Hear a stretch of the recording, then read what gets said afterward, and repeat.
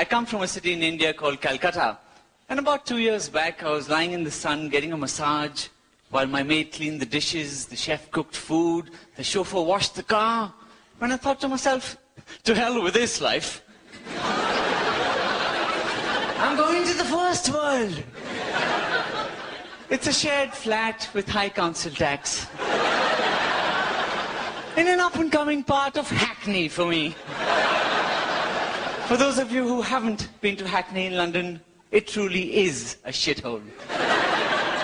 Yeah, frozen food, Russia and the underground network, terror threats every day. I'm living the dream. and given the weather in England, I'm living a wet dream. but I have been making efforts to settle down, and integrate, be more like a Londoner. I've bought this charity wristband.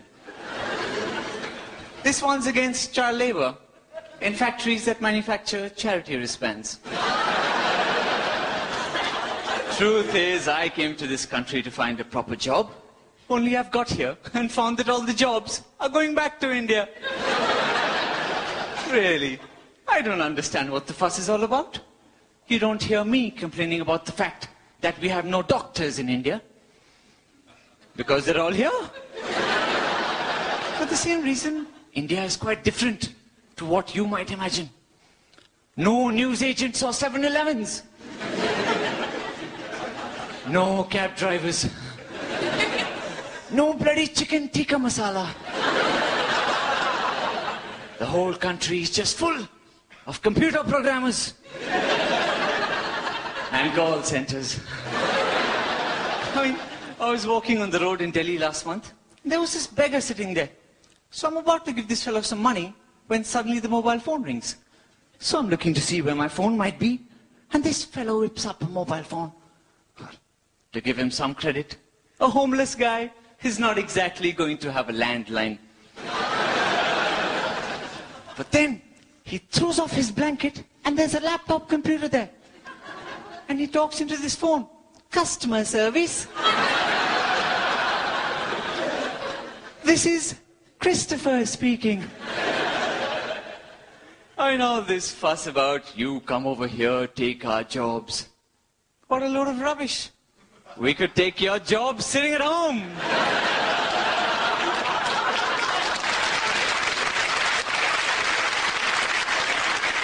Anyway, what can I say? My grandfather was quite keen for me to come to the UK. He used to say that the sun never sets on the British Empire. Of course, I've got here and found that the sun never bloody rises in the British Empire. you know, when I got to this country at immigration, they put me through a Britishness test. And I thought to myself, are we so different from Great Britain? You're the only country I know that puts an adjective before their name. I mean, why not amazing Britain? A fucking awesome Britain! Then even the abbreviation can be fab. But I mean, are we so different? Half of your public transportation is bollocks. Half of our public transportation is bullocks. You waste far too much time talking to somebody who you think is an idiot at the other end of a call center telephone call. So do we. You show sex in your movies. We show men and women running around flowers and trees. Yet we've hit a population of 1.1 billion.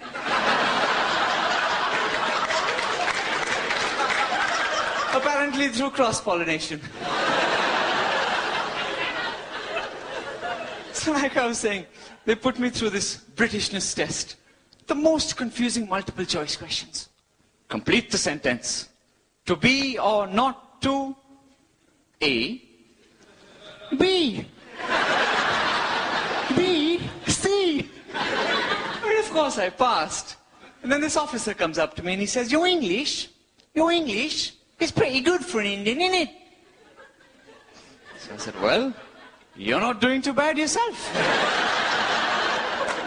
for a man with no career prospects and a looming pensions crisis. By the way, it's not in it, it's isn't it, asshole. You see, You can't afford to mess with us Indians. You may have ruled us for 200 years, but you didn't expect us to follow you back, did you?